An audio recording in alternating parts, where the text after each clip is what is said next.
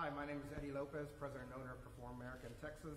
Uh, we're excited to be here to get, to get today with the Vandegrift Wind Ensemble, uh, the director of bands, uh, Mike Howard, and artistic director of bands, Professor Jerry Junkin from the University of Texas at Austin.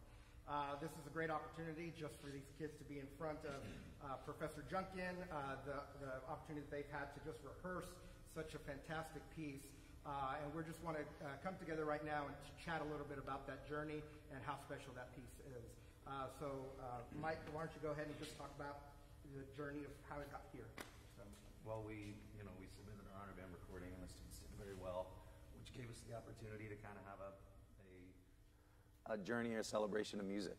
I actually, when I originally was programming the concert, that's not something I was considering, uh, just because of the, the, the length and gravity of the piece. Uh, this, I got a lot of nudges from a lot of different students uh, that really wanted to try and take it on, and I've, I think they've done a wonderful job. We're really excited to perform it next week. Definitely. Uh, Professor Junkin, I know this piece is something special to you as It you is. premiered this with the UT Wind Ensemble. Uh, why don't you talk about that and your work with David Maslanka? And Well, that, yeah, I, I've spoken about it before, obviously not in this setting, but he was a dear friend, and I, I miss him greatly. And this year we'll be doing his 10th symphony, which was in progress at the time that he finished, but we've just, we've sort of been doing both in Dallas and here a retrospective of his works. And um, the, it's, the music is so wonderful, but yet this piece stands out to me just because we were involved in the commissioning of it and how, how important this music is, I think, and in a way, what a catalyst it was for the rest of his compositional career. So I, this is an amazing band, so I, I can hardly wait to get started. So why are we talking? yeah, Let's why go. don't we go right into it? So. Okay. So do you mind if we just start from the beginning? Who's playing the horn solo here? Right over here. Okay. So I, you're just going to go. I'll start conducting at 30, right? Okay.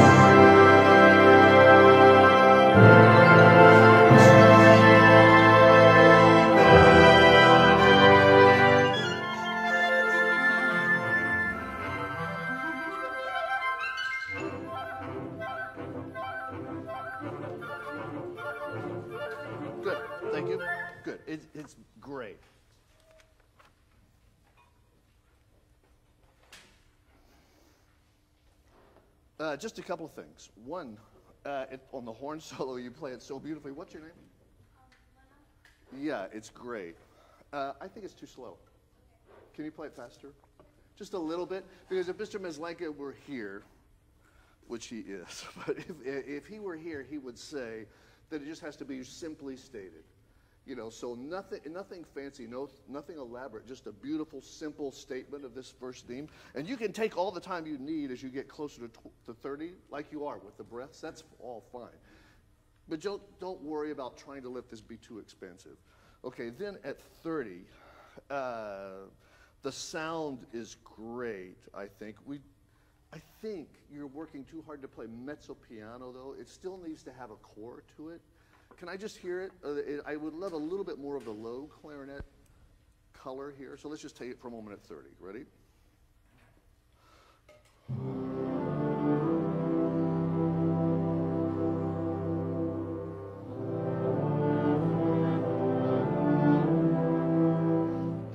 Yeah, good, thank you. And here, if I could caution you not to delay. Deem, bum, ba, ba, ba, bum. So this is going to be right in time. The next one, then, you know what I'm talking about when it speeds up? Can we do that speed up? You know what I'm talking about, the next one? It seems like we hit a tempo and then don't really get faster. So let's just take it from 30. We're going to play for a bit. The Accelerando is great. Here's 30.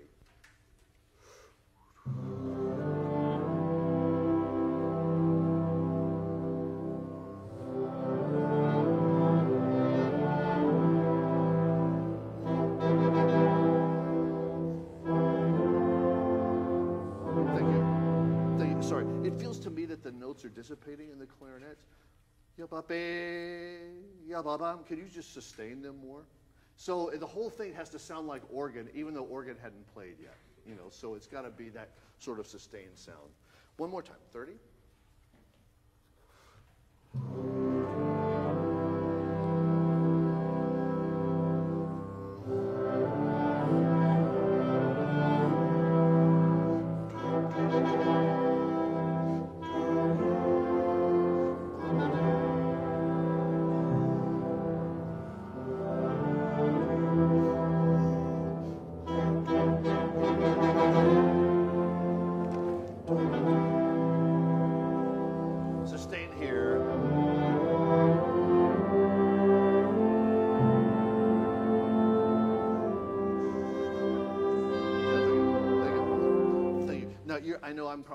Faster here because everybody's wanting to play slower, but here, one, ba, da, dee, dum. Those have to be right in time.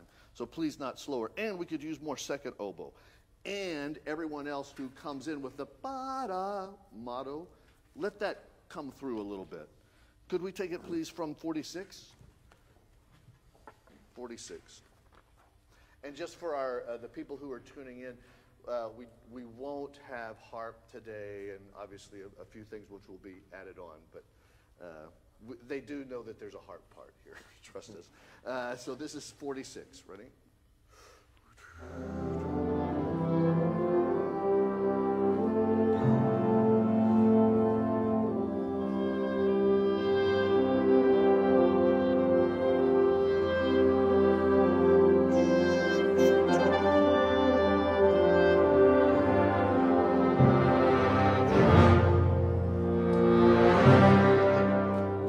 Trombones. Can you sustain a little bit more than you are in bar 58? And then more, much more. Let the glissando come out. And that should take the entire beat, so it's not a quick gliss. Thank you. 55. No, sorry. Let's do it from 50. That would make more sense. I'm still uh, thinking that the first note that the second oboe plays is just too long. Here's 50.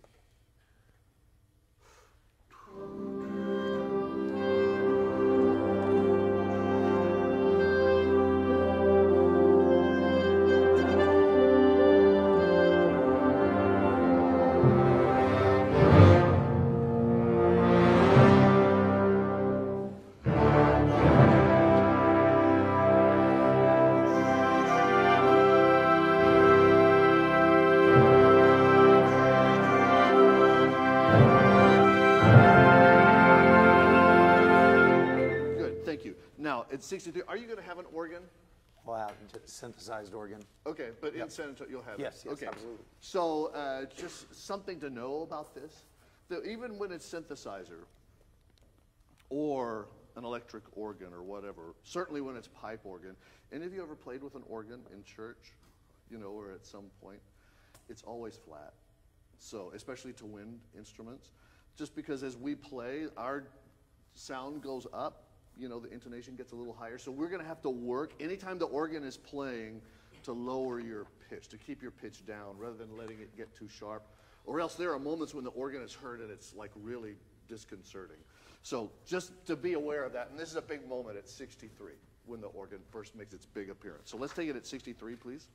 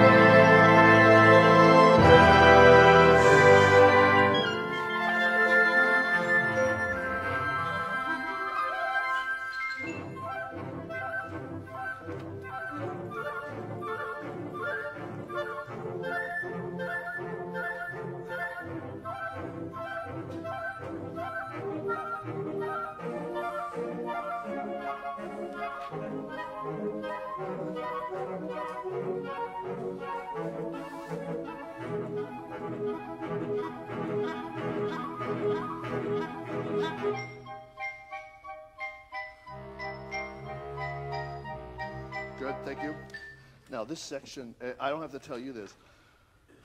From 88 through 107 is like one of the more difficult parts of the piece. Just to make this sound light and bubbly like he wanted it to, and the flute thing, which is so awkward, you know, but to make that sound as light as it needs to be. And part of the issue, I think, are the bassoons always in this. Um, can I just, just, let me just hear the bassoons for a moment at 88. Good. Can you make more, let's say it this way, less of the unaccented notes? That sort of sound. Yeah, so there's a lot on the point of one and three, and not so much these upbeats. And then can I hear no bassoon, but everyone else? Diggity, diggity, diggity.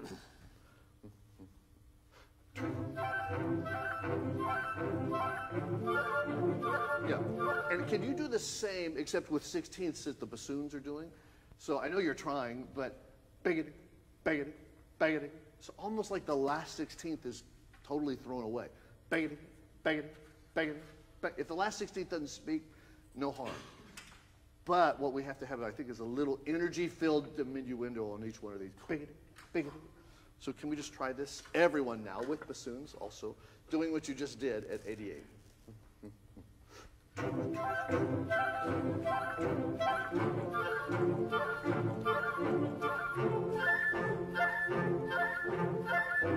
Good, thank you. And the last thing to the flute, because I know you're working so hard to play every note, the first note of each group is the important one. And then, again, just a quick diminuendo. If, you know, if they don't speak, it's not the end of the world. Don't worry about it but it's a little too we're hearing now. If you can do that, that would be great. Can we just try it again? From 88, same people, which is everyone. Here's 88. And we may go on, you never know. Here's 88.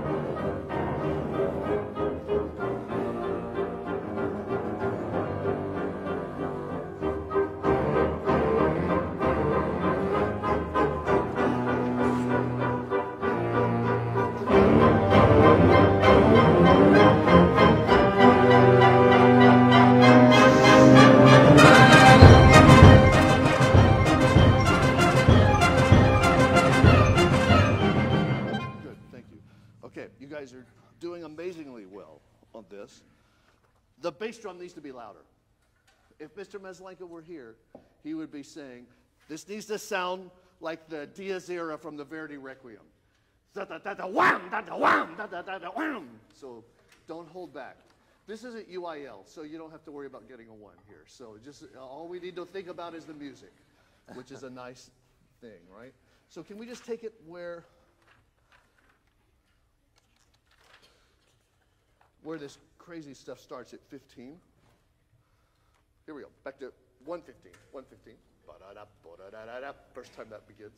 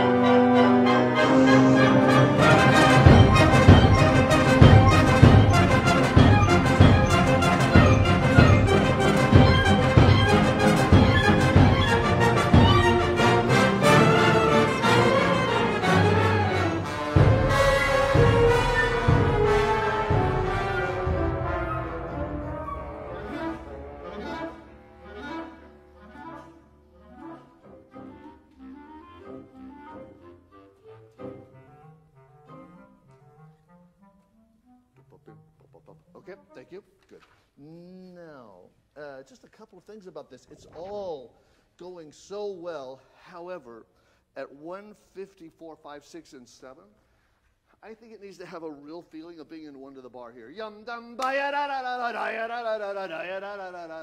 So could you play the unaccented notes maybe a little bit less? The accent is fine. It's just that it all sounds the same dynamic to me.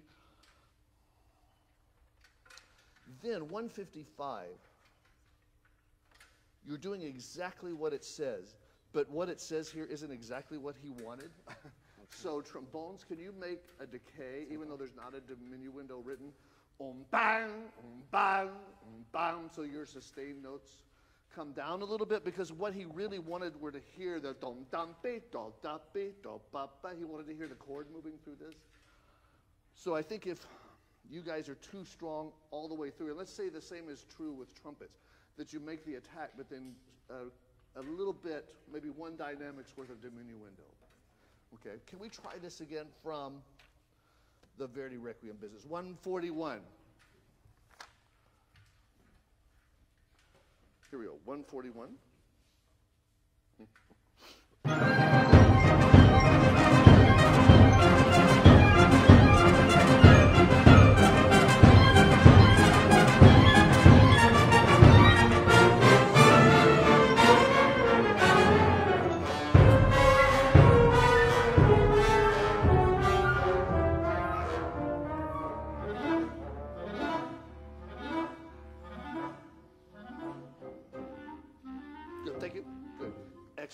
And that was much better, by the way, we didn't even talk about it, but 164 through 168, that was terrific. 169, however, can that be softer? So that that really is a piano. Bass clarinet, sort of most especially here, real piano, if you could, when we get to bar 169. Can we do just the ending of this from one, no, 158? That was so much better. Thank you, trombone. So can we keep it like that? Here's 158.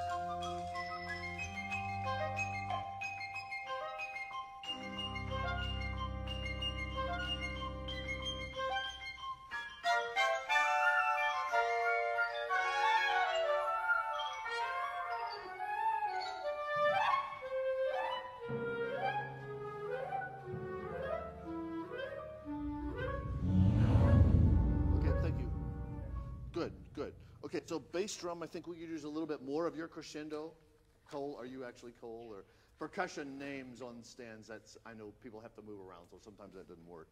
Good. And then uh, there's not usually a lot of uh, dynamic control on the lion's roar, but could it be softer to begin with? Yeah. I think you can start it softer, even though it's not a crescendo marked, and then let it crescendo and then go back down in the second bar. Good. Now, just a few little things that we should take another run at. The piano, when you come in, bar 193, that can be a little stronger, I think. Uh, let's just take it from where this scherzo material begins at 177.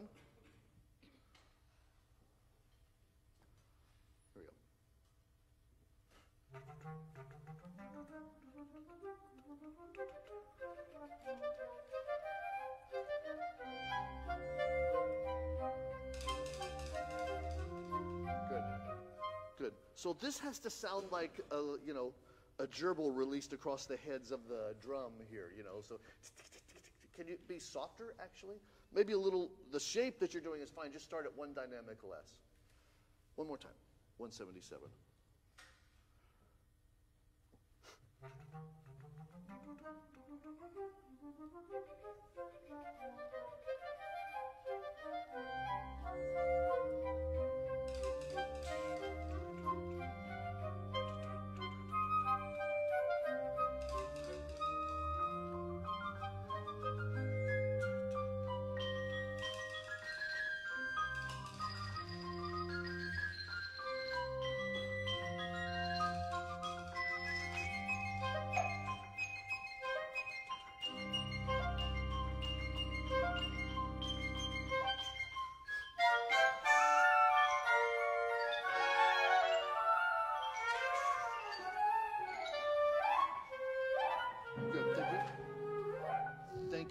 Then clarinets, uh, it's, it's, again, everything, we just don't have time for me to keep telling you that it sounds good, but it sounds really good. So every time we stop, just insert the words, it sounds really good, but, comma. And then I'll just say what it, and if it doesn't sound good, I'll tell you it doesn't sound good, okay? But it sounds great.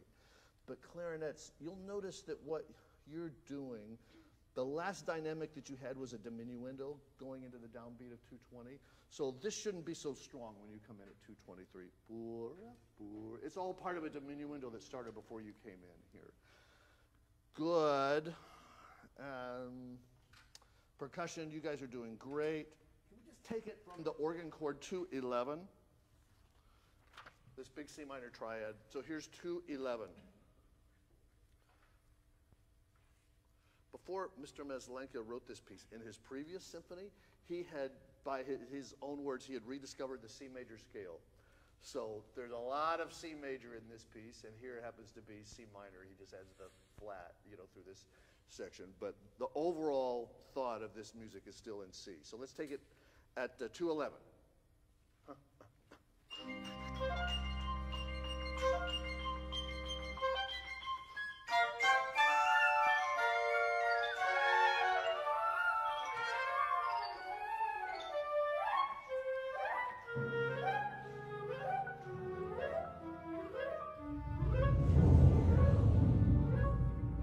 Drum one bar late.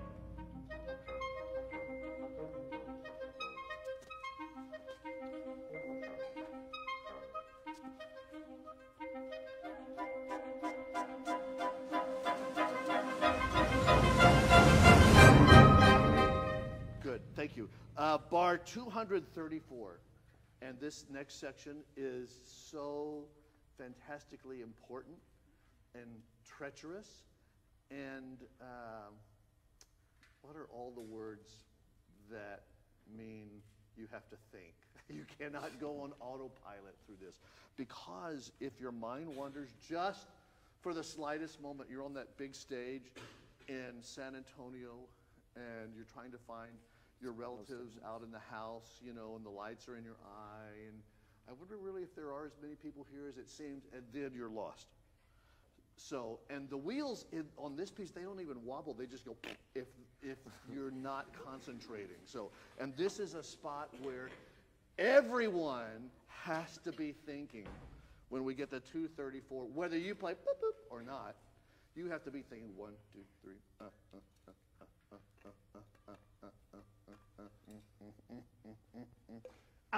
So that we're ready to come in in the right place.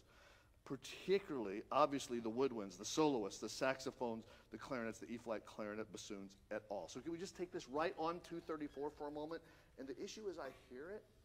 I think you can do this. I think you can start it softer. I think you're playing it a little safe at the beginning with the dynamic. So can you really try for a pianissimo and try to not shove the two eighth notes together so that we get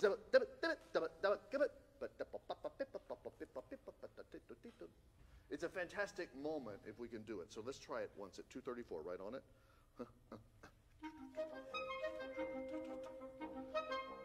Thank you.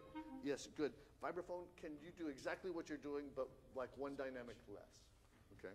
Mallet is fine, I think, just a little bit less. 234 again.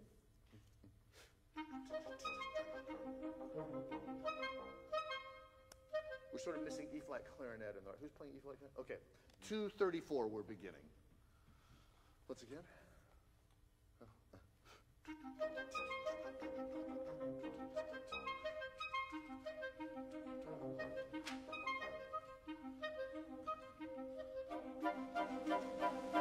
Oh. Just for my clarification, are all of these solos at 234? Are we doing one player per part on each of the saxophones as well? If that's the case, then saxophones, can you play the same size note but just softer? So it's a little, it sounds bigger than everybody else. So just a little, a little softer, but still staccato. So can we try it again, 234? Same.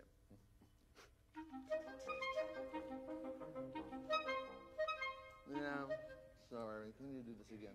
Can I just hear the bassoons for a moment? 234.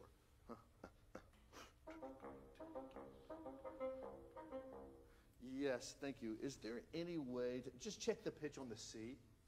Okay, because especially in relation to first bassoon, which is a little sharp, and then your C is not. So the two of you can get together and work that out. Can we take it again from 234? Everyone, tutti?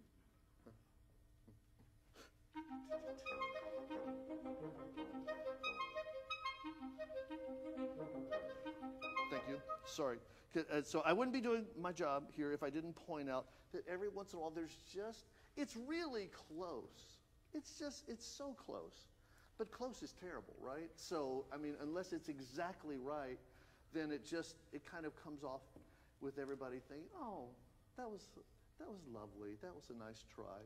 Rather than going, whoa. And that's what this section should do. You know, this should just be like magic. So can we, we've got to, maybe the problem is we're, we don't, we're not playing enough to get into it. So can we take it back from 216? That place, 216.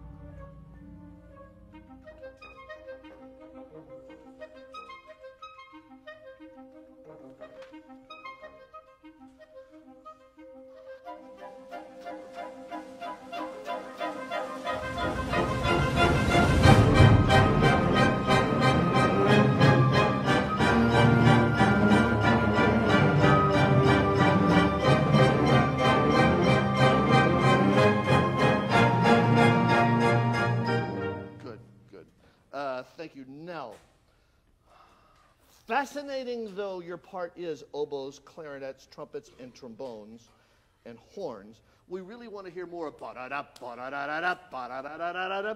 So, is there any way? Yeah, that, that, that, that, that could be a little less. So just, I know it's very exciting. Everybody wants to get into the action here. But just a little bit less. Piano, you don't change anything. Timpani, I think you're fine. Even the color from the xylophone—it's just the winds, I think, that are too strong in the repeated quarters there. Can we just take, oh man, okay. So 243, is it possible? This is a place where I'm not sure why he wrote it this way. I, well, I know why he did, but I'm not sure it's the best thing to do. So in saxophones, can you both play? Are you already going, yeah, da, da, da, da, da, instead of da, da, da, da, da, da, da. Are you alternating? Could you just both play all of that? So we get the crescendo. And also, it relieves a little bit of uh, stress to, you know, come in in exactly the right place. So just starting on beat two of 243, play every beat, and then you already have it in 247 and 248 anyway. So just do what you have in 247 and 248. Then, in the trumpets, I kind of think it's the same thing for you guys, 245, starting on beat three. Why don't you just, both parts just play the same thing, first and second? You know what I mean? That way, because that's at the moment that we need the crescendo anyway, and I'd like to hear these duples xylophone, you could actually give a slightly more crescendo going into 249. Good. Can we just do this from, let's say 243, right where we're going to start doubling in the saxes. Here's 243.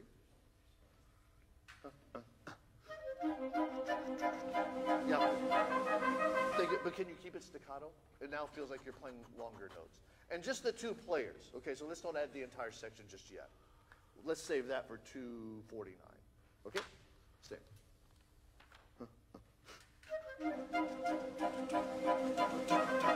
sounds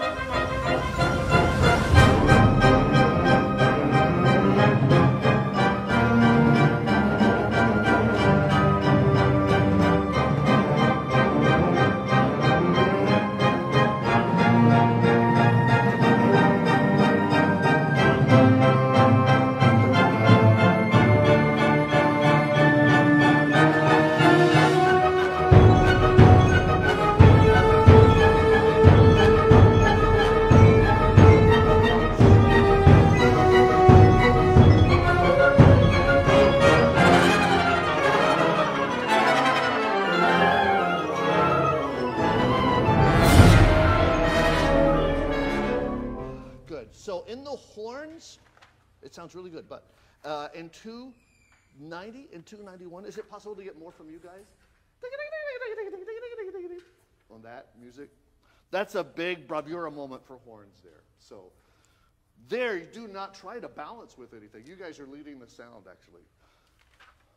We could never give him enough horn there. Uh, we don't need to go through this previous section because I want to save the chops so that when we get to the end, we have enough uh, left. But let's. Sorry, I don't think there's a good place to start other than 287. Thank you. Here's 287. So, for our audience that is watching the webcast and tuning in, it's very easy. I don't want you to take this wrong, but it's very easy to lose sight of the fact that this is a high school band because they sound so amazing. So, here's 287. Ready?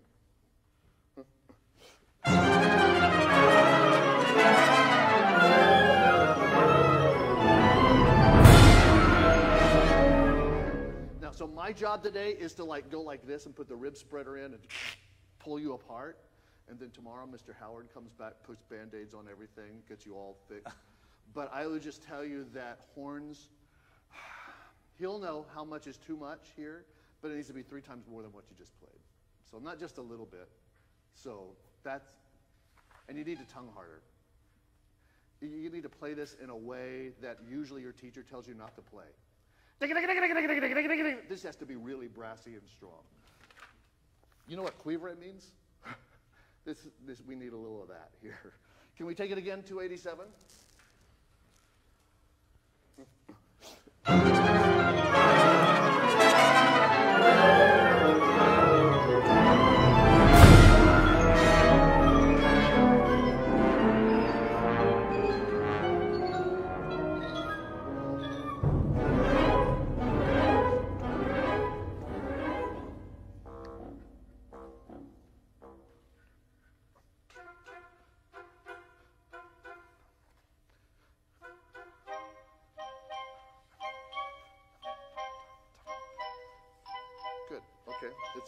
Once again, it's really good. Thank you for the bassoons.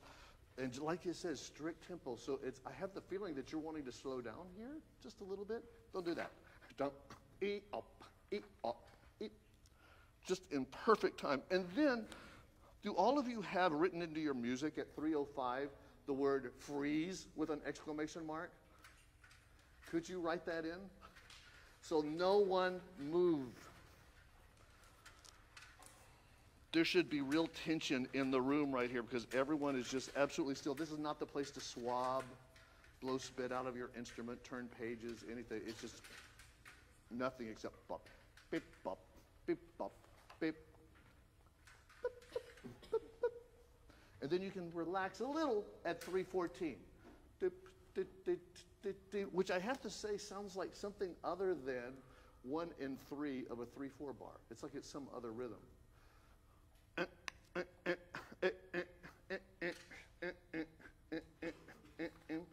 sort of getting a hybrid. Some, sapum, sapum, bapum thing going. So can we try this again? And would you just mentally subdivide into three here? Whether Mr. Howard's in one or in three, however, whichever way he does it, just you subdivide in three and we'll get it. Can we take it from 301? Blurp, blurp. Strong first note in each of these bars before you make the diminuendo.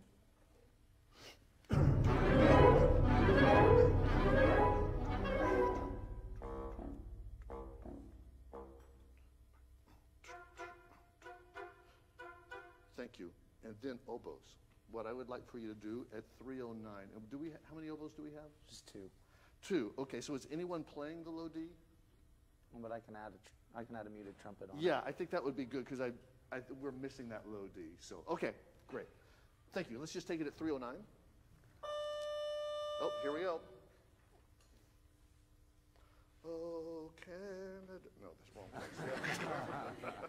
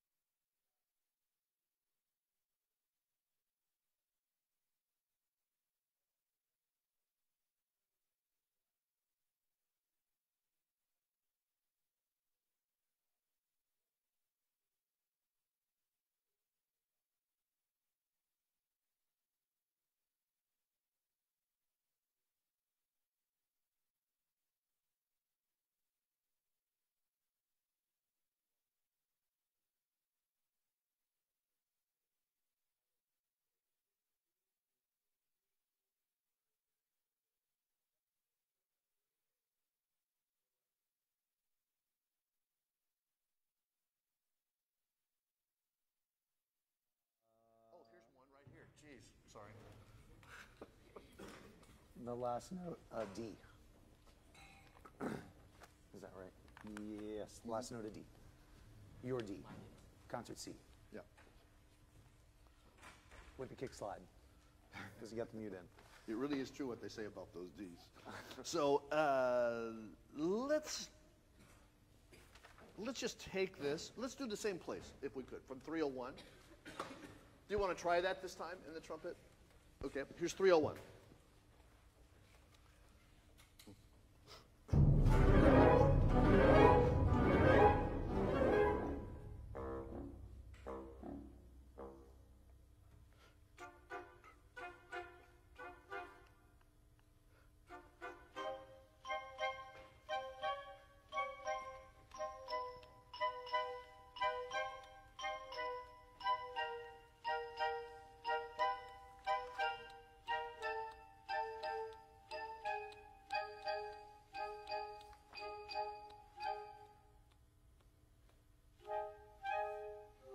Good, thank you. The last two notes that you play in the E flat clarinet, could you keep them still the same length note as you were before? So they're staccato. One, D, D, blah, and then it all changes at 334. Then it's very broad, obviously. Good. Um, this was better that time. Thank you. That little D helps a great deal. It always, it's weird, isn't it? How 309 always something doesn't speak. Something is always weird about that first note. So, oboes, could you do me a favor?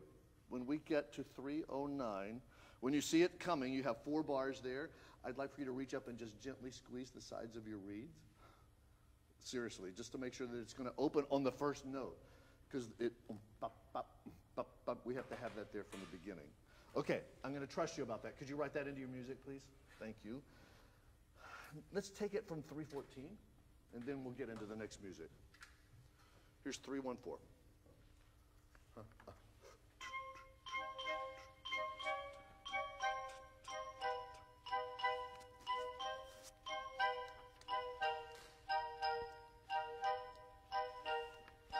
Good.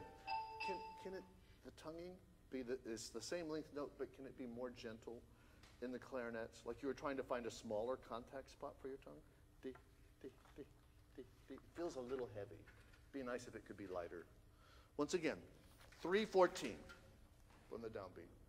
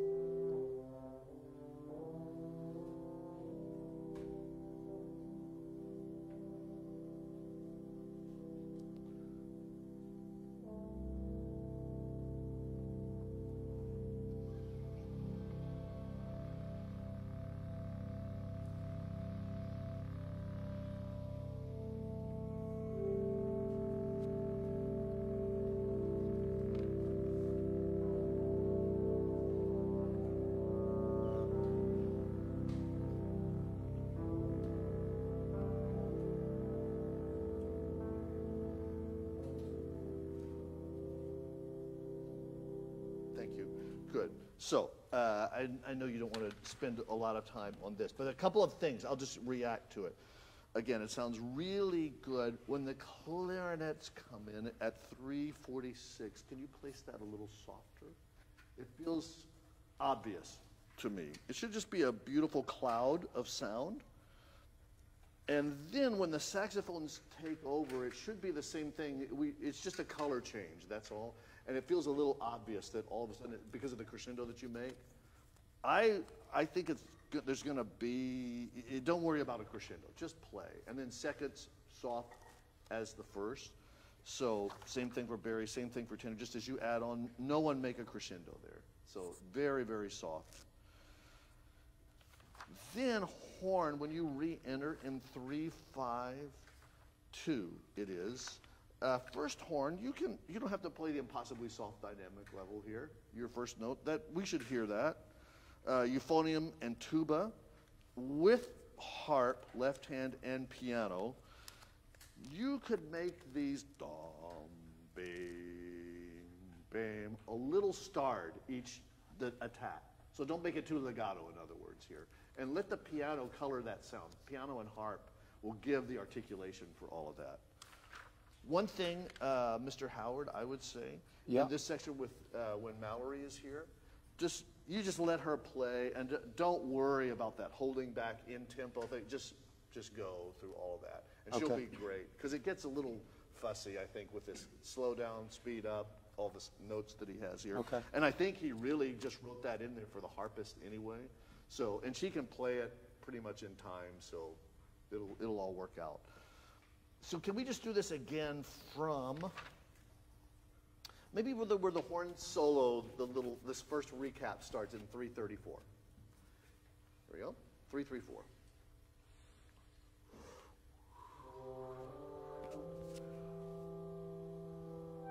Yeah, thank you. One more time. Just so we can get that A in there.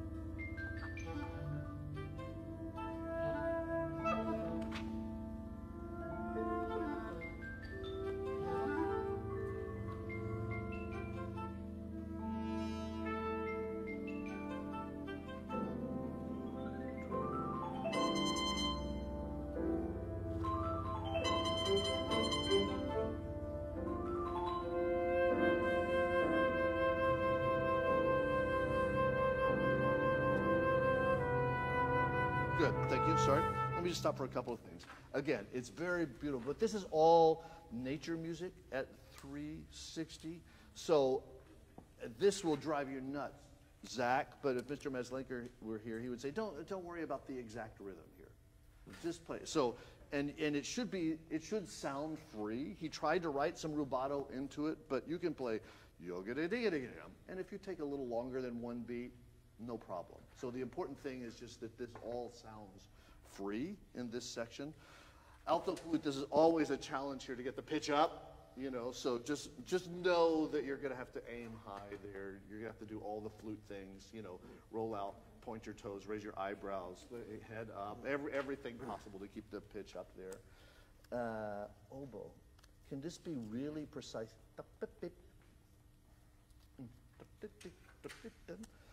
And then xylophone a little too fast, I think, when we start. Maybe I'm just going slower. I don't know. But let's, can we just try this right from 360?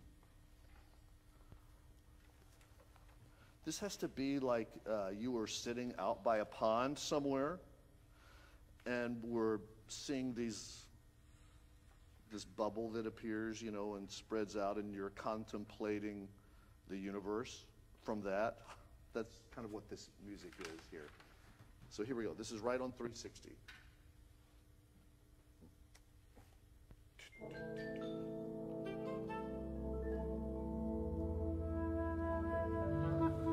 Thank you. Sorry. Can you just make it?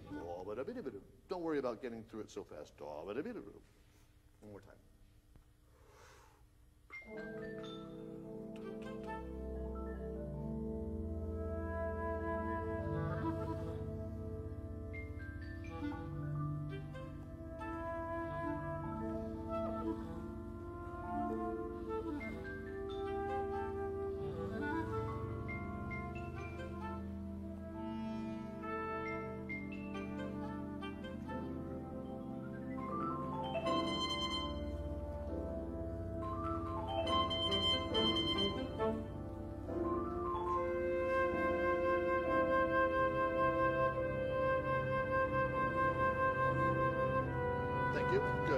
So Drew, it is right. So it's it's beautiful. At 373, though, however, can you make sure that that's a clear start to the second C? Otherwise, it sounds like it's just all tied together. This is uh, 272. Bravo on the trumpet. This is th- sorry, 372. 372.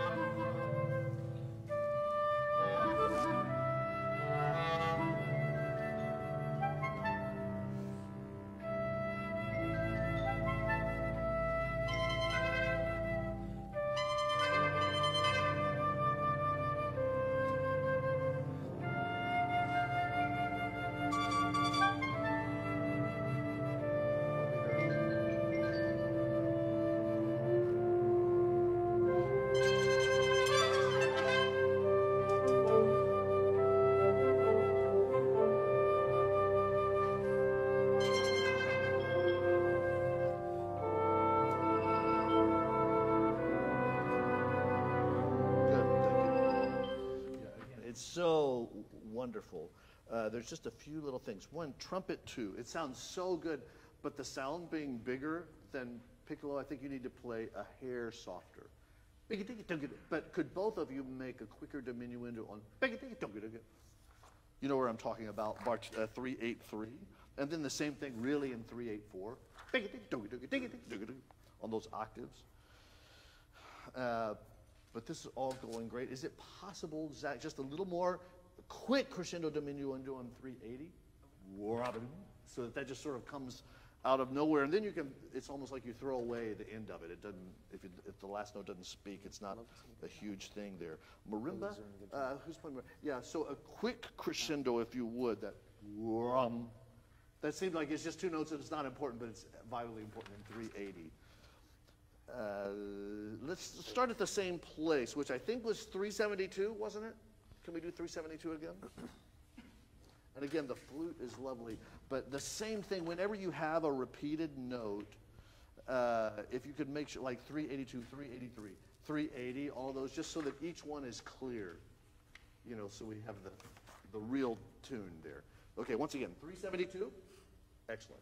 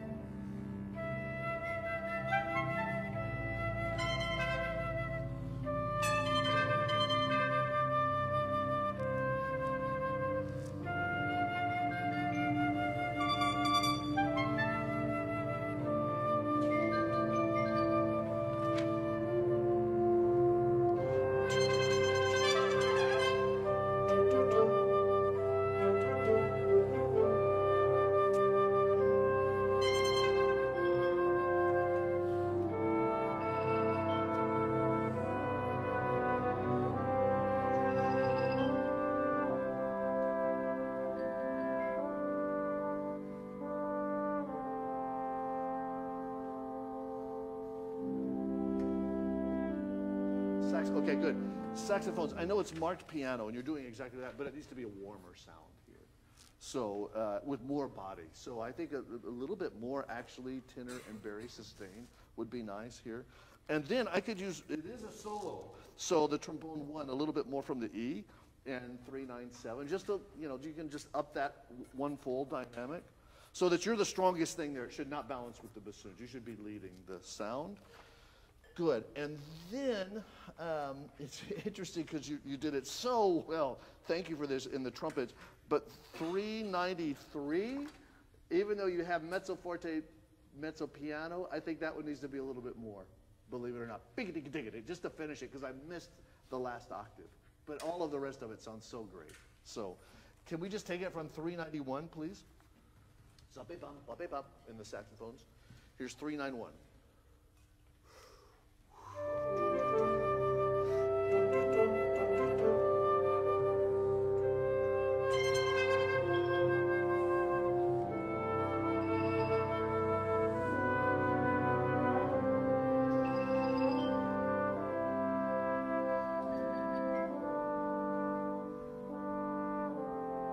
Thank you. Good. Can you change, do you have enough time in four beats, there are three beats to change sticks there? I think that's too clicky, you know, that last one. It's not the way you're playing, and I think just something more medium rather than quite so hard there. The last one you play in 397, okay? Uh, and by the way, while we're on it, in the xylophone, it all sounds really great. However, the one moment where I'd like to hear it to be more present is 388. We won't go back for that right now, but big it up, up, up, up, that place. Just a, just a little bit more with the same mallet you're using, and that'll be fine. Okay, thank you. Now, can we take it from, uh, so that the trumpets don't have to do this again? Let's do it at 394, please. Here's 394. And that last time, that was great.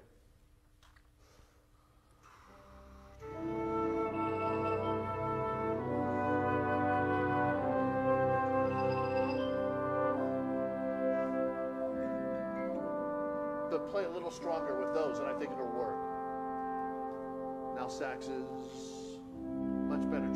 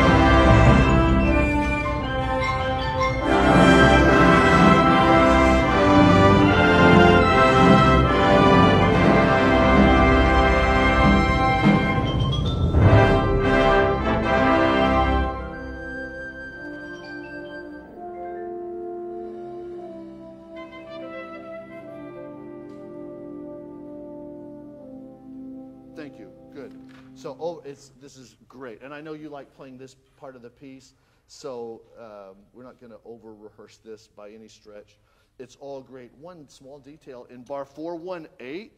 Can you? uh, Can everyone wait until the fourth beat to make the crescendo? It seems like people are making it early there. He actually was quite clear that he only wants that to be on the fourth beat.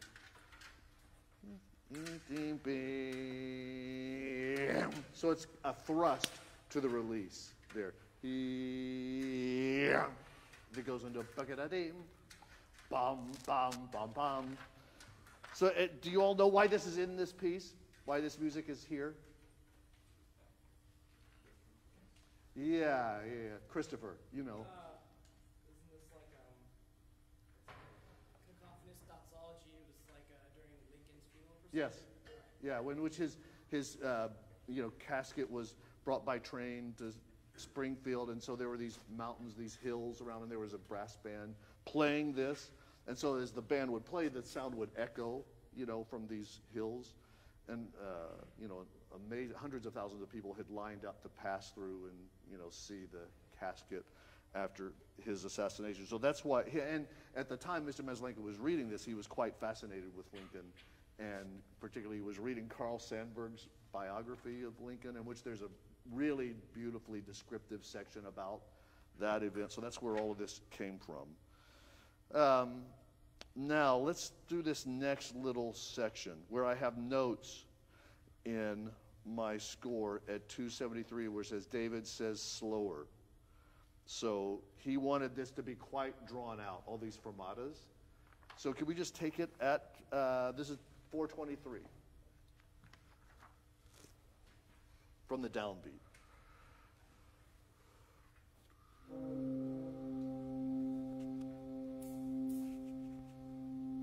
Yeah.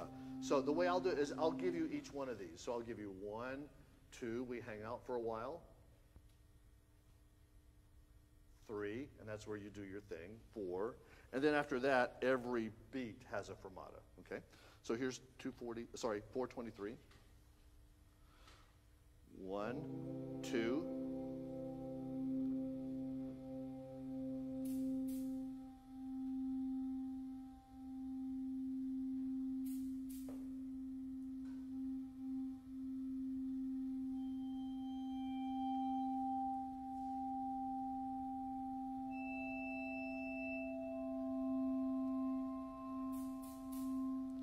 Okay, thank you. So just, I would say don't wait for Mr. Howard to cue you there. You just play it after her E starts to, starts to sound. So she goes G, E, shikatum. Because that's with nothing else, really. It looks like it's with the bowed marimba, but it's really not. So can we just do that second bar? This is 424.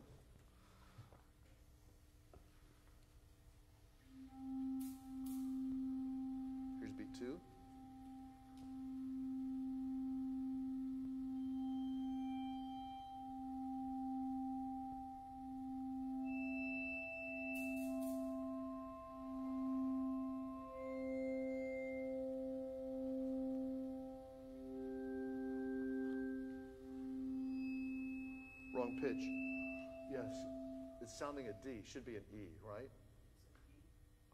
It's really a flat E. Is that is that? Ah, yeah. we'll check it out. Um, can we try it from two, 425? Here we go, 425.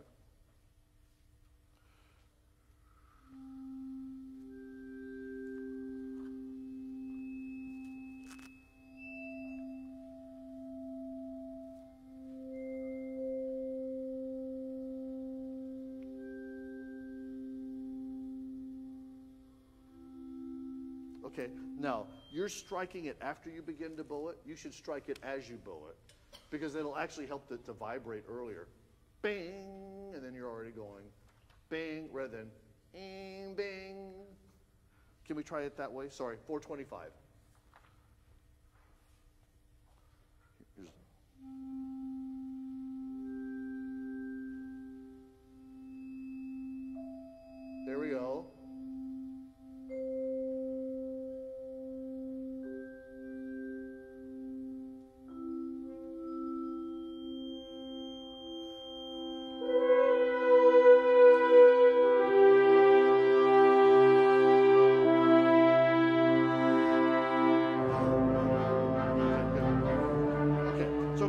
With this. One, the horns and the euphoniums, can you make a larger crescendo and then sustain the downbeat forte?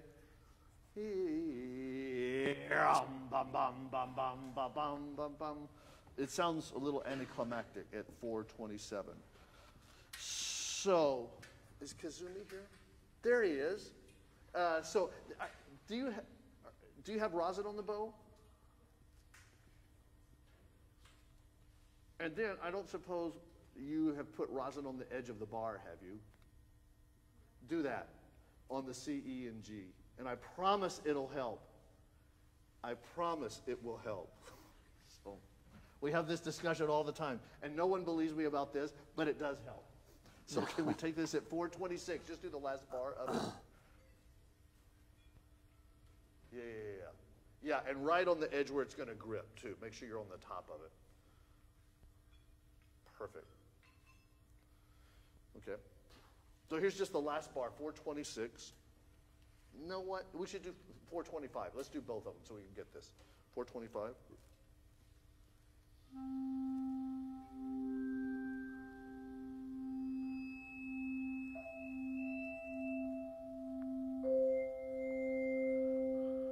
I don't know why that crotale starts so flat and then goes to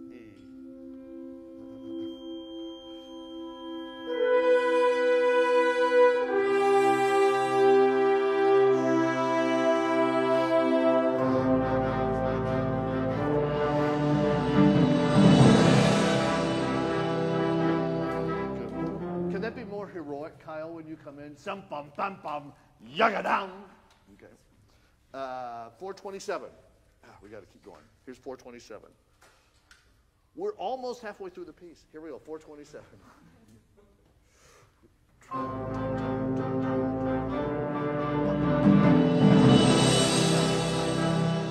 I say stretch that a little bit. Dum bum bum dum, yata like that. So we'll just beats two and three will be out of tempo. It's okay. Here we go. 427. Thank you.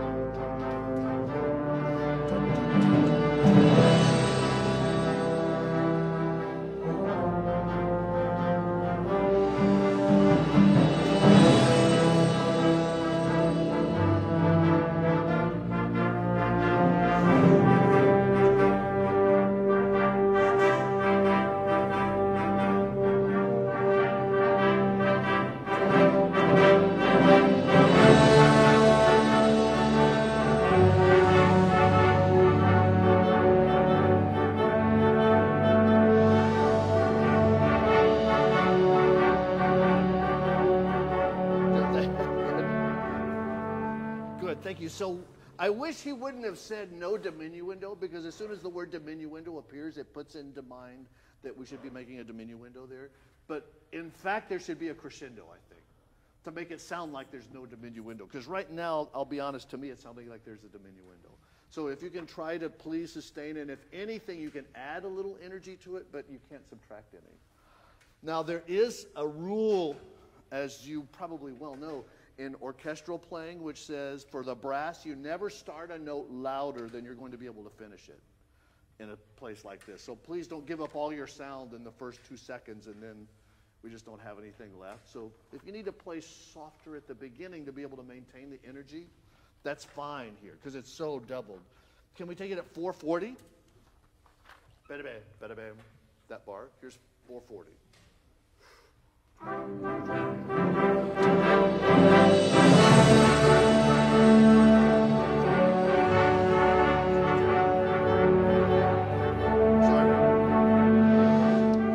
But our tempo elevator isn't all on the same floor here. It's a little wobbly. So just make sure in the trumpets, yum, ba bum, ba bum, ba bum, that it just keeps going straight ahead. Clarinets, um, is it possible that you play not quite so separated, actually? D, B, B, B, B, B, B. Firm articulation, but I'm feeling the quarters a little shortened. D, D, D, D, D, B, B, B, B, B. A little more like that, I think would help. Here's 440. Good.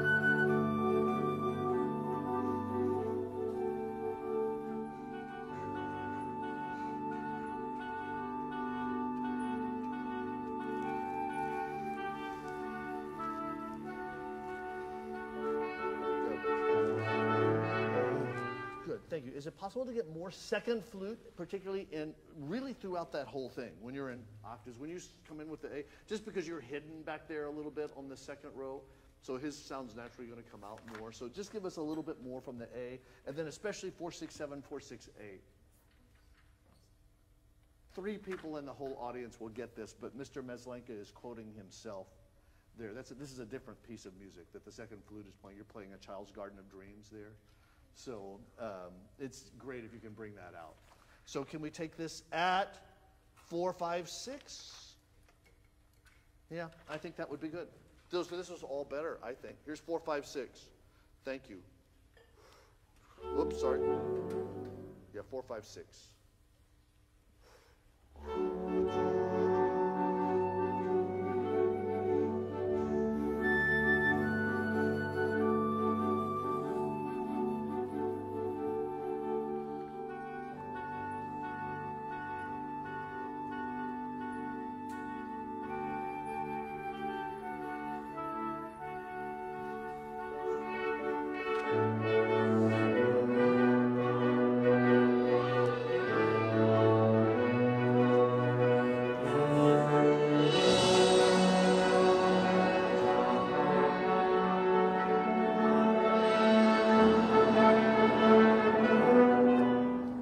So second and third trombones can't be laid there. Dom, bom, bom, bom. And that can be a little bit more punctuated, I think. A real forte. Great. 470 is fine. Let's do 469 just so we can get the um, bom, bom in there. Here's 469.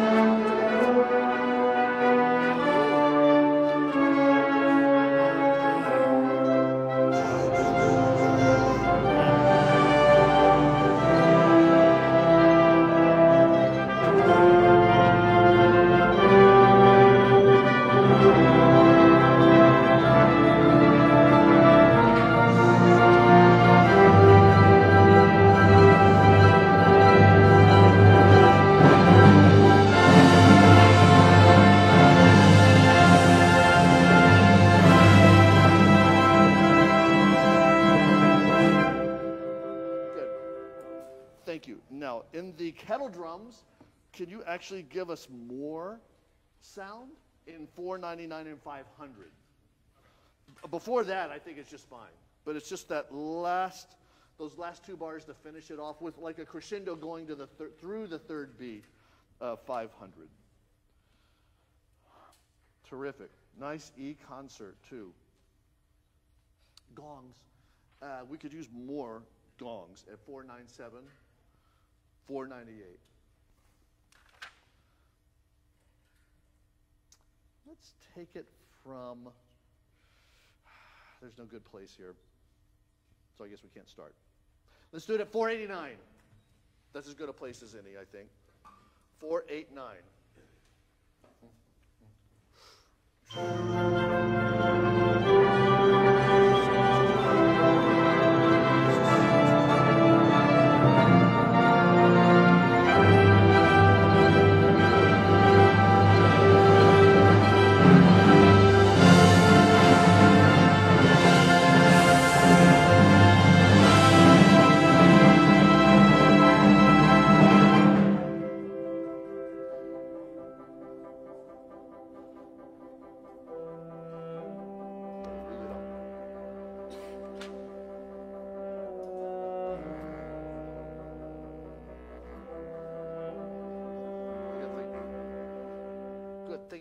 Together in the bassoon and horns here. So can you hear the horn from where you're sitting? Okay, so just put it with them.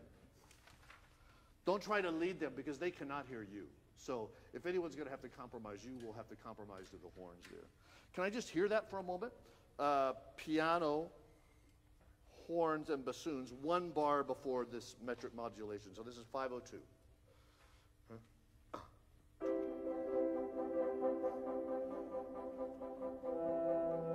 Horns and no sax, no bass clarinet.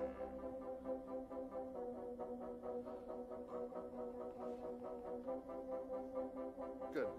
So in the horn, if you can keep it like it says crisp and dry throughout, because it loses some of its crispness and dryness after about two or three bars of this. So it's really hard, I realize, but to keep it, it's easier for the bassoons. But because of that, you might press the tempo bassoons. So just be sure that you're listening back to the horns there. Thank you. This is everyone from 501. You don't need to play the first note. Here's 501. Ready? Mm.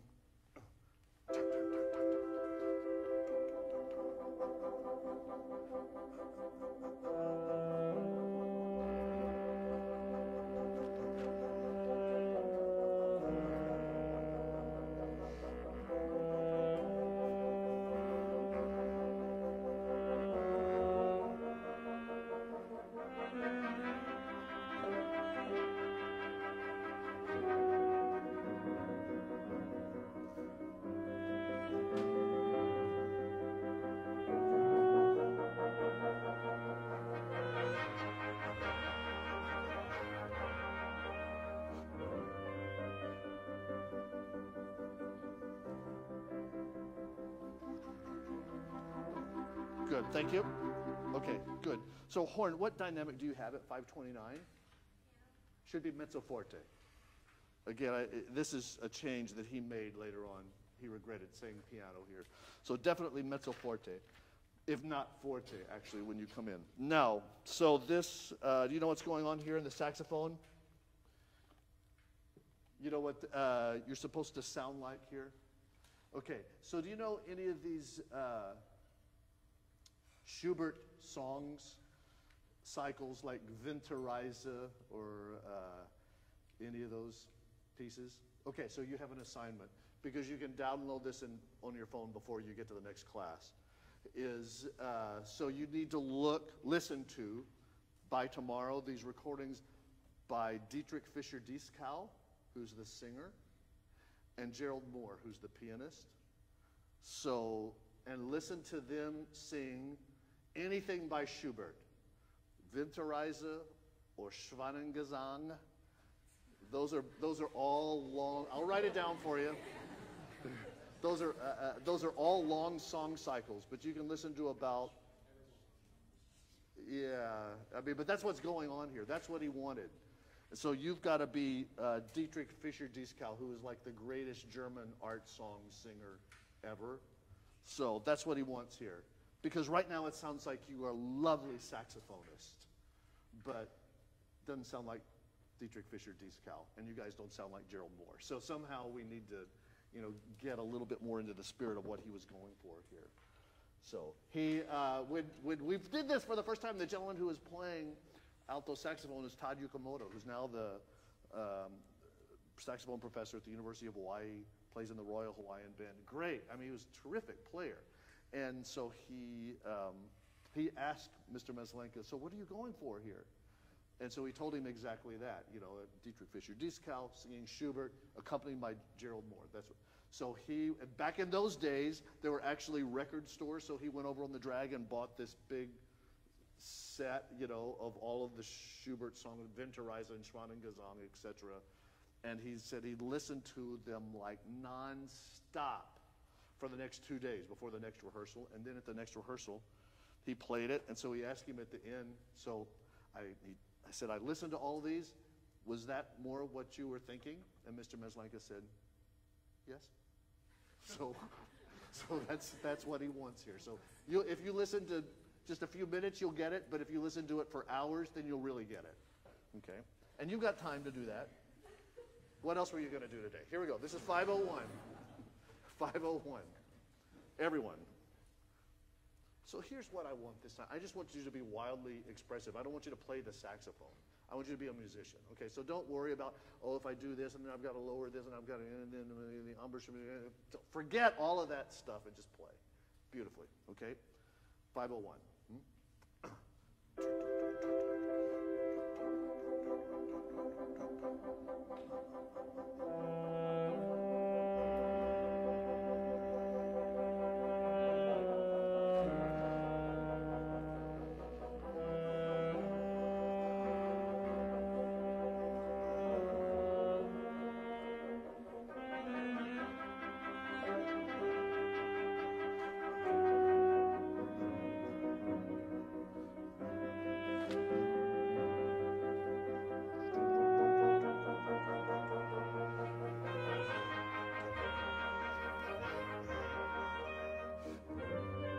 Okay, thank you. Now, right here, this is such a crucial moment to Mr. Maslanka. So, can you make more crescendo at 524, but then drop it to absolutely nothing? If it didn't speak, that would be better than playing it too loud there.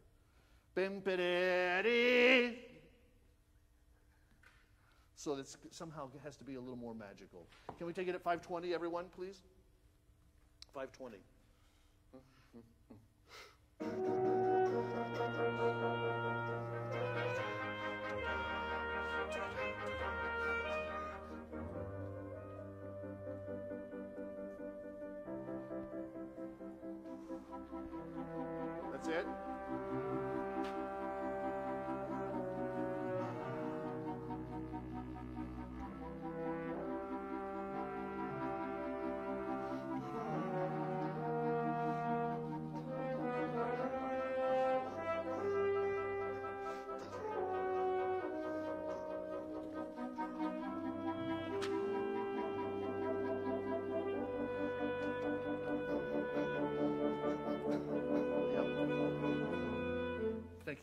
Uh, so at 5:45, starting in the middle of the bar, for the next bar and a half, horns, can you make a big crescendo?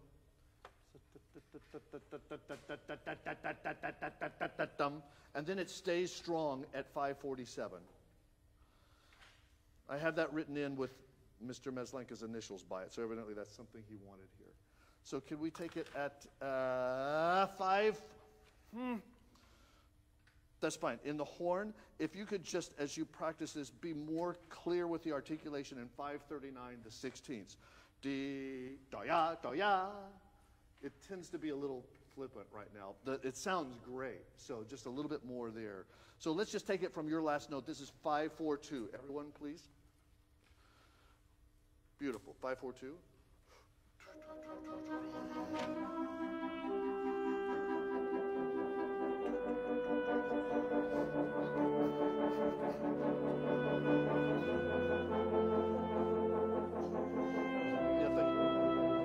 So saxophones, you have to be in time here, not behind the beat. Now, also, you, there should be accents in both alto sax and tenor sax in 548. Dee, dee, dee. Do you have those? Okay, great. Can we just take it from the place where there was a crescendo that was supposed to happen, but it wasn't obvious enough in 545? That place. Here's 545. Hmm? Hmm.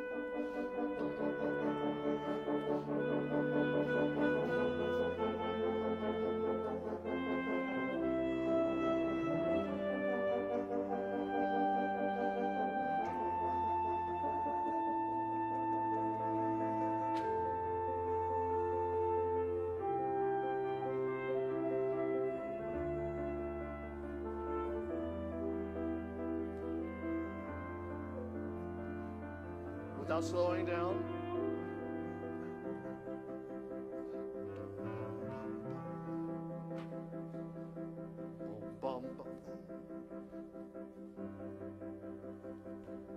Yeah, you're one beat behind us in the piano. And that's crucial because it has to go in alternation with the double bass part. And you know in the bass clarinet to listen to the double bass here when they arrive. Okay, can we just do from uh, 561? We won't do all of that. So I know some of this is just you getting used to me. So uh, 561, right on it, where it goes back into four. Like your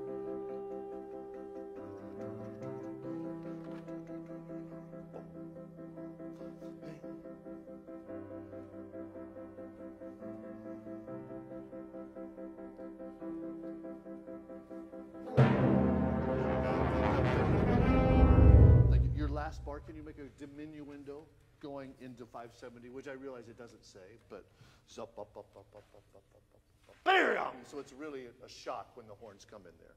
Okay, here's 570. Zup up up up up. up.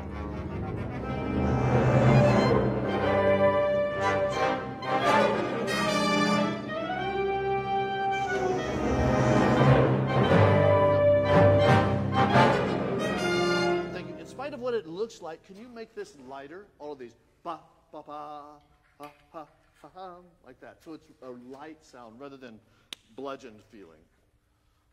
But horns, all of your fancy stuff, that should obviously come out. 570 again. Hmm? Thank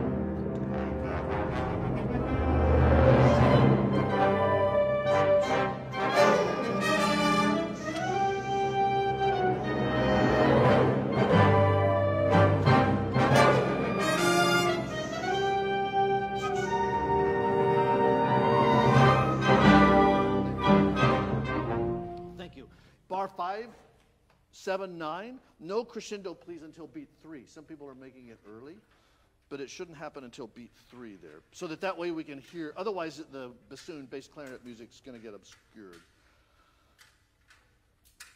Five, seven, six, please. Five, seven, six. Ready? All right.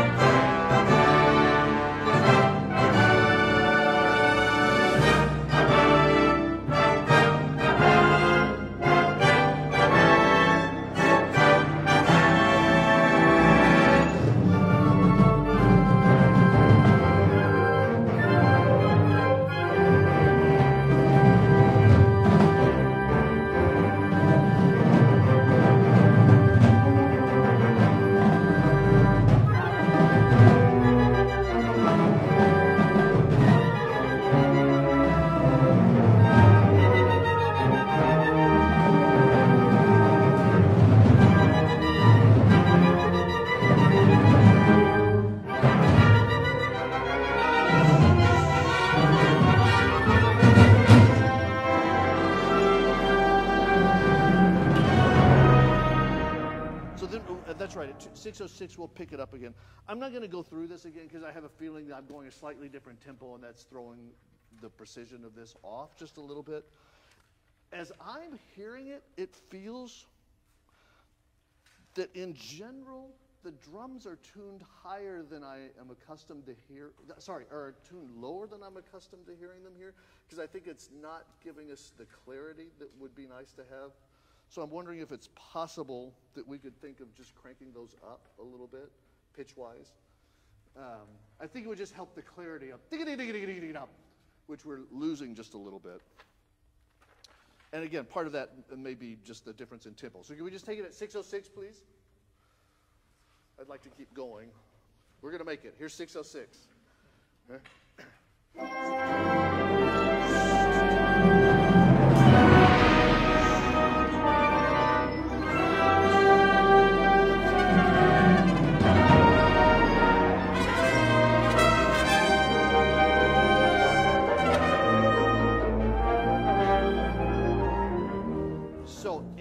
614, does it say legato in your music here, horns?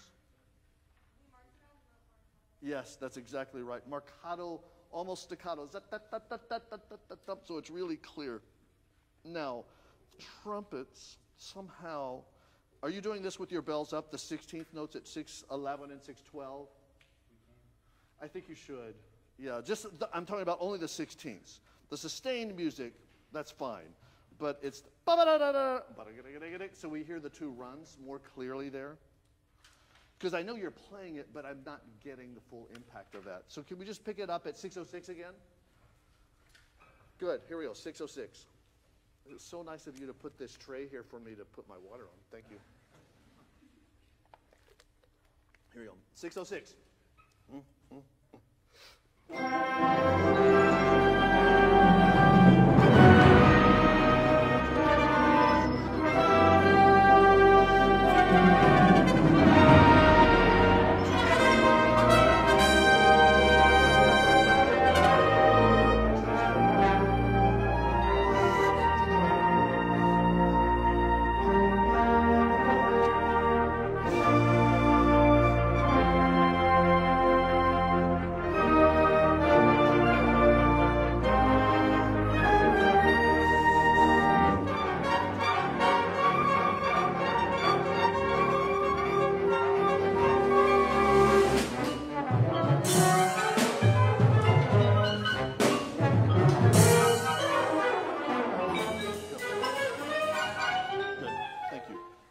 ask, is that faster than you usually go here? Okay, sorry, that's okay. I can adjust. That's fine. Because if you were doing it at that temple, I was gonna say you.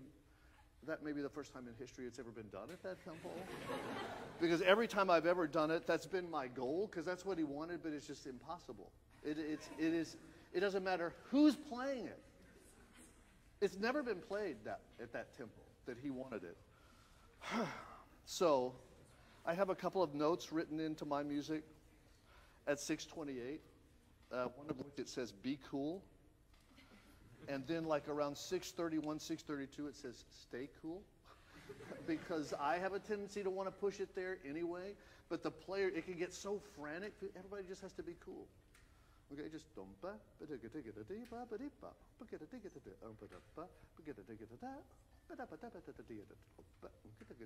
just be cool there. Don't you can't play this music in a frantic way, I think. So can we just take it, um, making our little tempo compromise here at 628. So if we did this, so would that be okay? Okay, here we go. 628.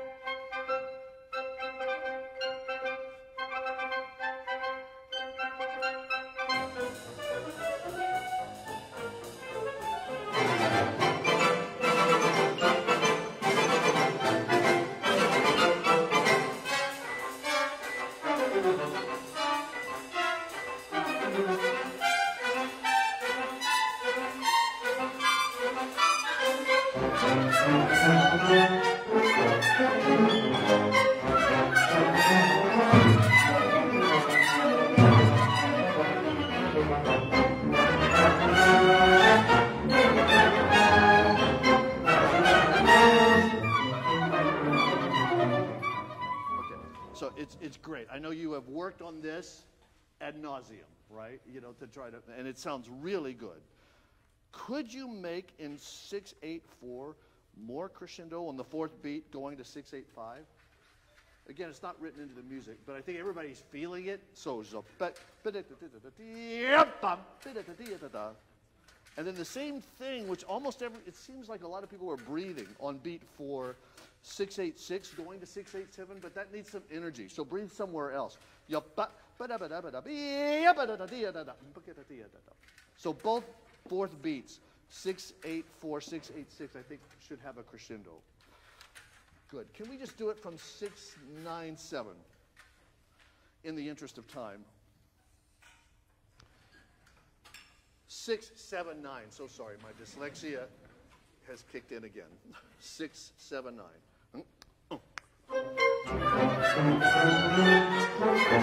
Música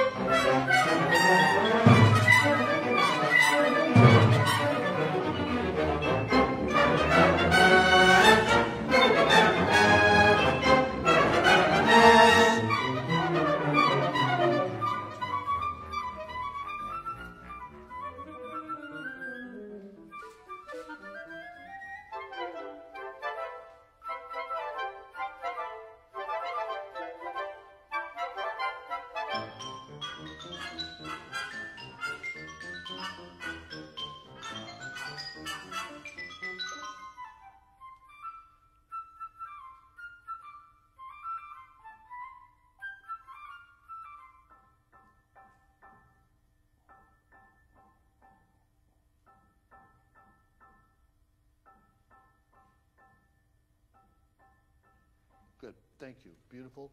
Now, just a couple of small things. This delicate music at three, sorry, six ninety three. Uh, I think this needs to be more skewed toward the flutes and not the clarinet so much.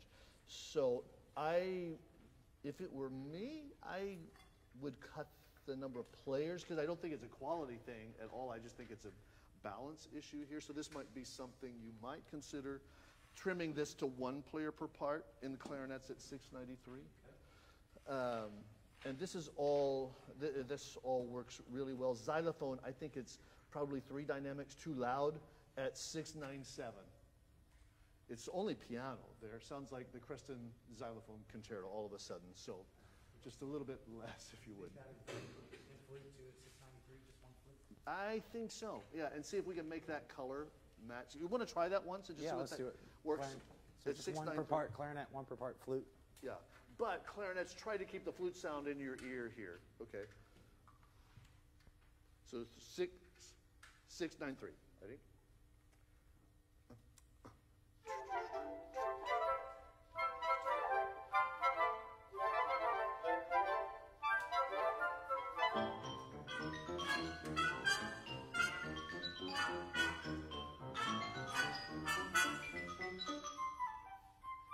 Good, thank you. And then maybe just a hair more of the vibraphone here, just to mix with the flute color. Okay, but I think that'll work. We could do that a few more times. Now let's let's get into this baby section at 712. Here we go. And this is so beautiful, this section, especially with the harp.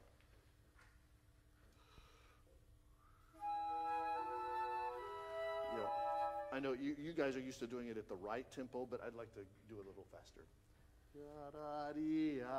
Like that. Let's try it.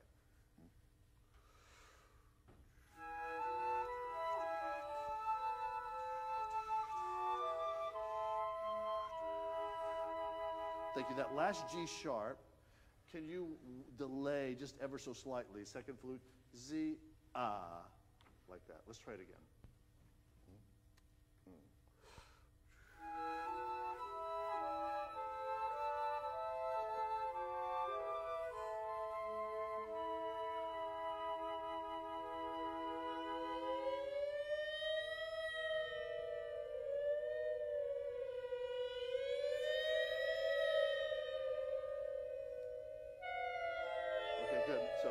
And I'm sure we're going to pace these things differently. The way I'll do it for today is I'm just going to give you four really slow beats in each of these bars, and you'll just gauge. It's like your graphic notation. So you're just going to gauge where you are with the beats.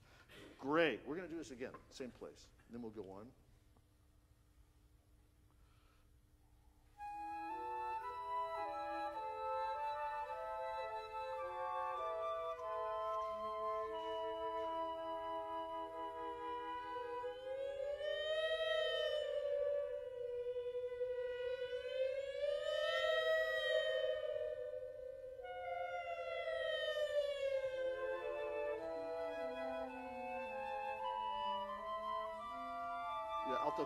Sure uh, what we're doing there. Here's uh, 715, right on it. 715.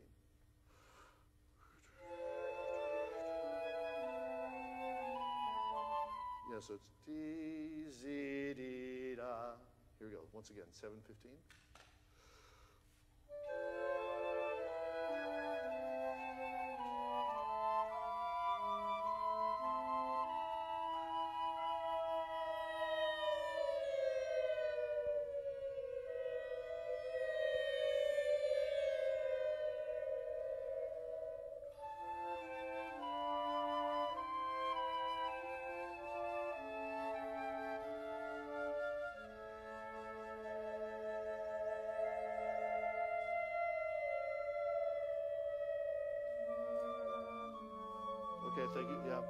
So here, uh, second clarinet is vitally important. So we hear the suspension. Ya.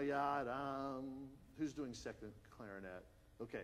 So yeah, that those pitches are really important there. Now, so all of you know what's going on here in the music. You know, so this is Mr. Maslanka could never really talk about this part of the piece without getting pretty emotional about it. So these are babies who never had the opportunity to be born. So, you know, it should not be loud at all. It should be as soft as possible. This, what starts out crying and then later becomes singing, you know, with this chorale. So can we just try it at 7:15? Picking it up one more time at 7:15.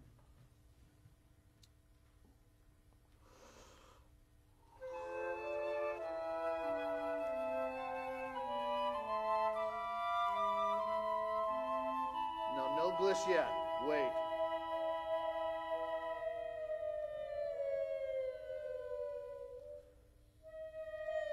Third clarinet, we've got to have you here. Here's 718.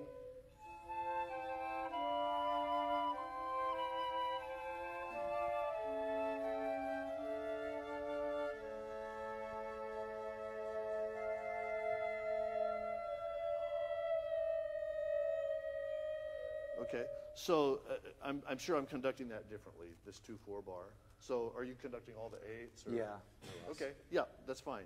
So let's just go on in 721. We won't worry about that. Here's 721.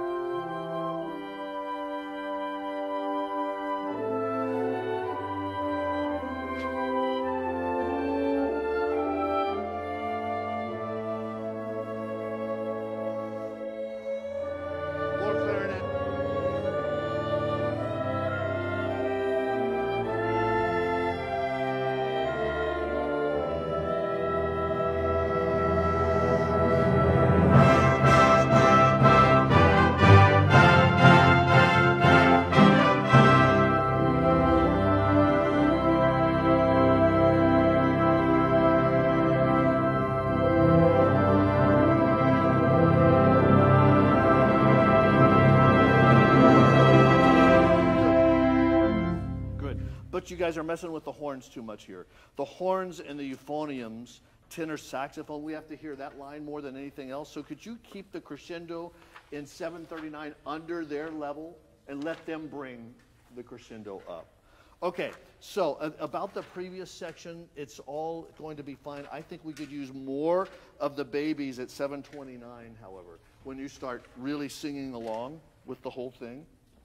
I'm not going to worry about the uh, other part. It's going to be very beautiful because Mr. Howard has this worked out in a way that I don't want to mess with because it's all good. Timpani, could you start the roll on the E softer, but then really keep it a steady crescendo all the way to the downbeat? Can, as a matter of fact, can we do that? This is beat three of 731.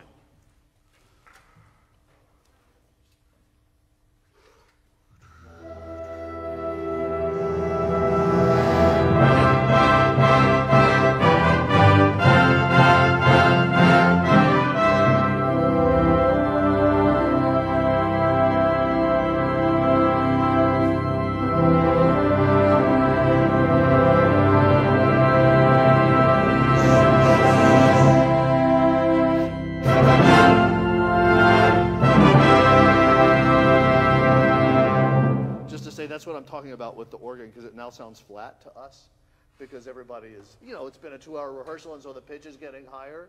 So just a reminder to keep your pitch down, please. Uh, good. We're just going to go on from there in the interest of time. Here's 742. Hmm? Sorry. Yeah, 742.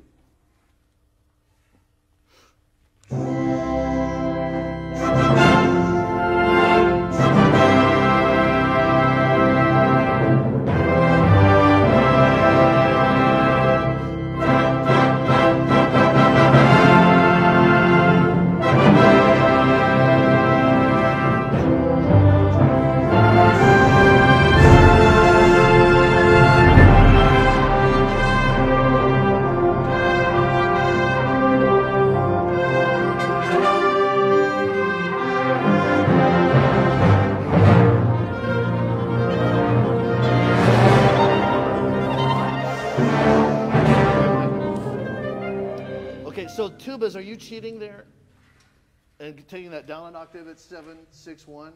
Yes. Oh, come on.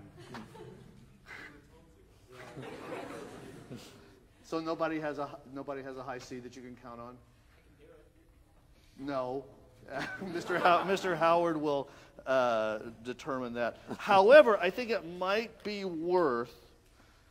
How many euphoniums? do you- yeah, yeah, yeah, yeah. So it might be worth putting a Okay. euphonium. So this is where we get the, it sounds odd to me to go ba da ba da da. Got of "Be-de-de," So you could have euphonium do the first Okay. two notes or something. So anyway, we can experiment with that. Okay. Seven, five, four. And I know the 767, 768 are getting ready to be a mess because we're going to do this differently. So, but just play. Just do what you do. So this is everyone, 754. It,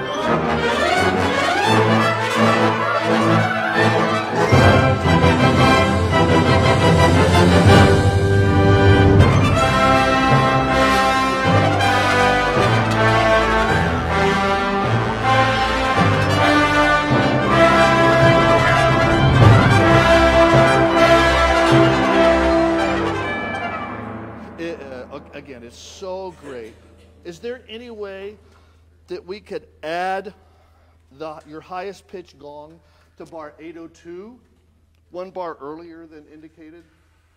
And then you just play the part from then on. I don't know why you didn't put that in there. And then chimes. Who's playing chimes? Can you give us a little bit more? Okay. Uh, you don't play this piece to play soft, you know, especially at this at this moment. Uh, however, trombones, the same issue that we talked about about sustaining, we're losing the sound too much. So can you um bim bim bam bam? Don't just wrap your legs around the chair and blow. It doesn't have to overwhelm everybody. It's going to be strong because of the doubling. So can we just take everyone at ah, yum ba ba ba bum 798? These three bars work so great, and I always told David, why are they? Why? What is this? Why is this here? But somehow it works, and he would always go, I don't know. here we go. This is 798. Ready?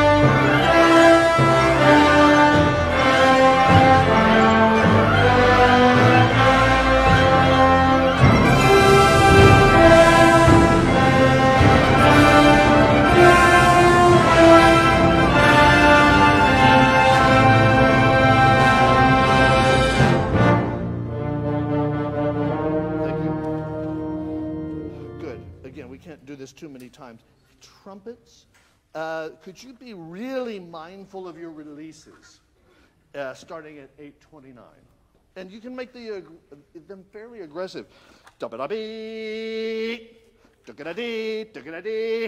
dee. Because it seems like it, the farther we go, it gets a little later. And that, that would be not good. So it has to be right in time for this to be so effective. Thank you. Can we just take it at 837? Here we go.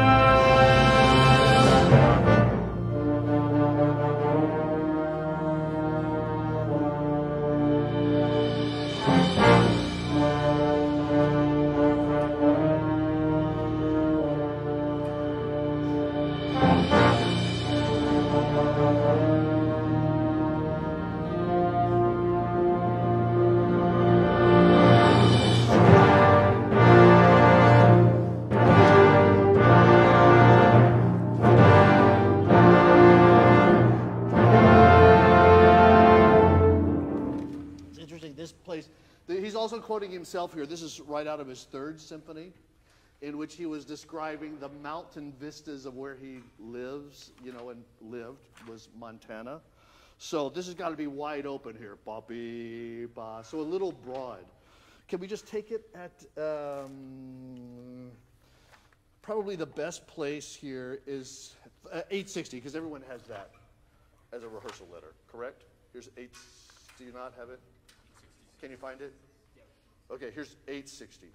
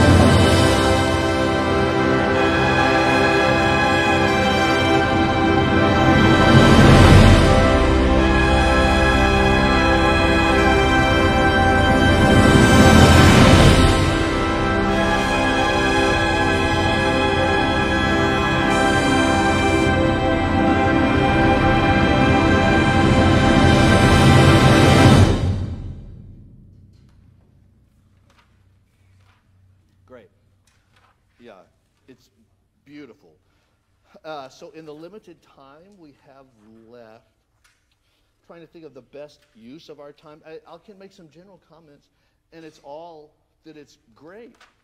It's amazing. And you know, there are people right now from some place who are listening to or viewing this webcast, and they're thinking, well, yeah, but this is one of those Texas high school bands, you know, they work on one piece all year long, and, you know, that's all they do. And, but that's not the case, as you guys can tell them. so, uh, you know, not only did you have a fantastically active marching band season, uh, but then, and now you're getting this concert ready for next week, right? It's in a week. Yeah, you guys are playing it at the TMEA convention, and this isn't this isn't like this is the only piece on the program. And then you're going to turn around and you're going to do other music, you know, at your other. That's why I love this program so much because it's not that stereotypical, you know, we're going to beat these pieces to death and then we're going to, you know, then that's it. And then we start working on next year's marching band show. That's not the way it works around here. So it's, it's really extraordinary what Mr. Howard and crew uh, do with you guys. It's, and the fact that you guys, it's clear that you love doing this. I mean, how could you not like this piece anyway? You know, really? I mean, seriously. If, is there anyone who doesn't like this piece? We'll, we'll put you on national television now. Do you, do you not like this piece?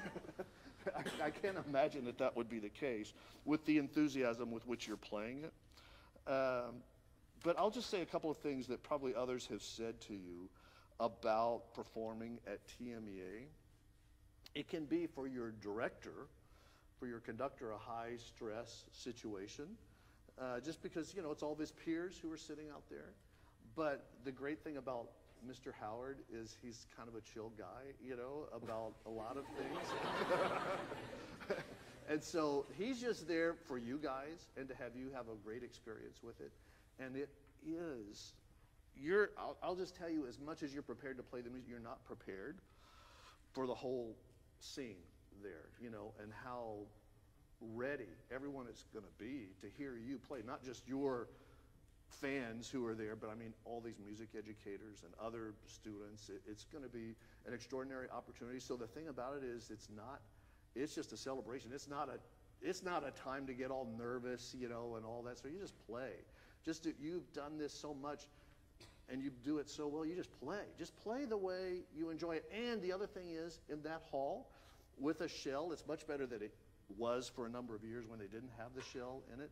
But it's still there are oddities about playing in that hall, about the way the percussion sounds, about you know certain things, the way they come out that you don't hear on stage, but you hear them in the hall. You just can't think about any of that. And you, what you don't want to do is push your sound in that room. You just play the way you played. So don't anybody try to be a hero. Don't try to save the situation because it's, it's interesting. What you get in that hall is if you play something that has some projection to it, you get an immediate slap back off of, there's a wall that's at the back of the lowest level. And so you'll play something and you'll, Zekam! And you hear it come back to you.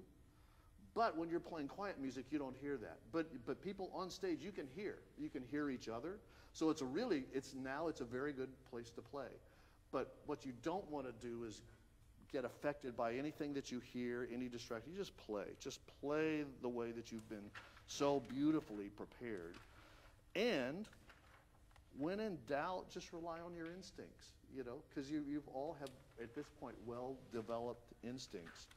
Trombones, little more glissando at 766, just like at the beginning. So all these places that come back at the end, you just do the same thing at the end of the piece as you did at the beginning of the piece. And, and then it makes perfect sense. This piece makes, in some ways, no sense.